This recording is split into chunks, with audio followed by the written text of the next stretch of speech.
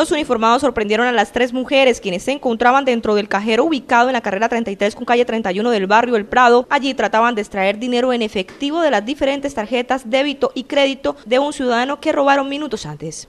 Y lo que estaban allí era tratando de obviamente retirar el dinero de las cuentas de este ciudadano.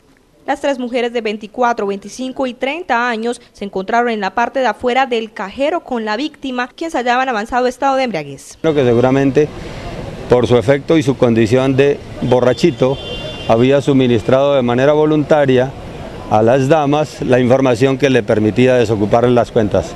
Al ser requeridas por los uniformados, dos de ellas trataron de huir del sitio, pero finalmente fueron capturadas. Al revisar la cesta de basura del cajero, la policía encontró escondidas varias tarjetas que eran de propiedad del ciudadano.